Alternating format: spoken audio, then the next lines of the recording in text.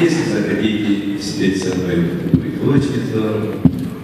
А если нет, я вам спою. Очень-очень такую, ну, не заслуживает этого слова. Старая песня, но красивая. Уверяю вас, что вы ее все знаете и полюбили ее давно. Но сегодня она прозвучит немножко иначе, не так, как вы привыкли когда-то. Лет 35 назад, если даже чуть-чуть больше, я впервые ее спел. Я не спел на стихи песни Райбурга, Ян Райбурга, на стихи Григория. Вот так получилось, что года три назад меня пригласили наши соотечественники концертами в Италии. Я думал, что бы спеть вот какую-нибудь песню, но ни в коем случае не из репертуара звезд итальянской эстрады, потому что я знаю одно. Лучше Челентано поет только Челентано. Вот. И я как-то думал, что-нибудь на, на итальянском, ну, чтобы наше. Я познакомился с молодой, талантливой девочкой. Она так судьба расположила, распорядилась, что вместе с мамой прожили долго, долгие годы в Италии. Она там не училась. Она не написала новый текст.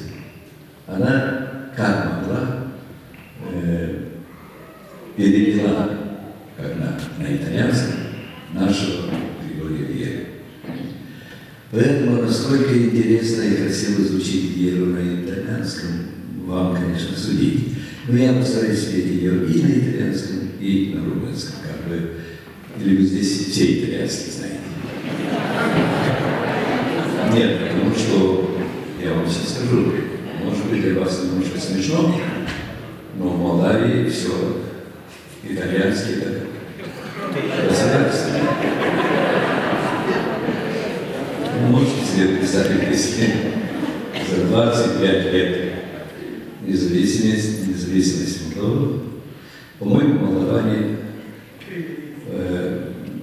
самый большой, сейчас добились самых больших успехов, потому что они за эти годы оккупировали э, две западные европейские государства, Италию и Португалию. Говорят, что в этом году Испания тоже наши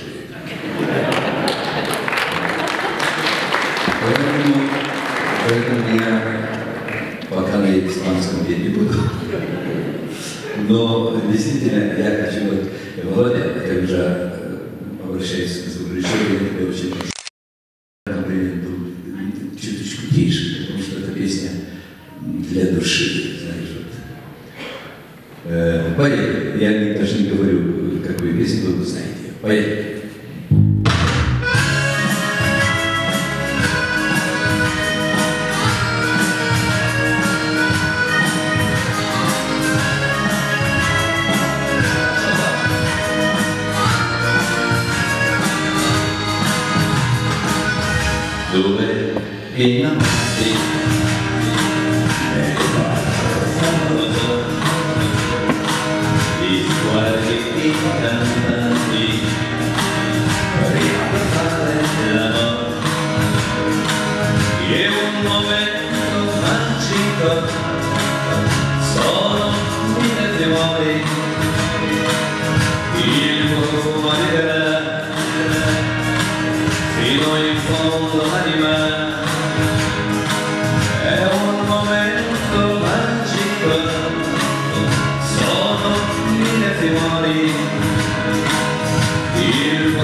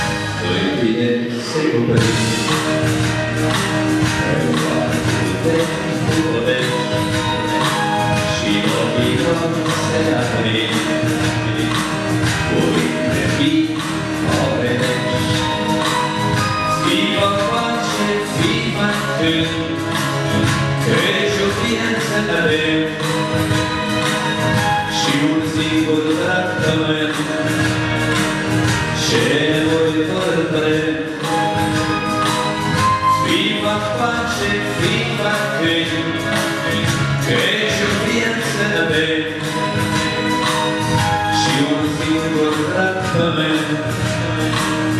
Ce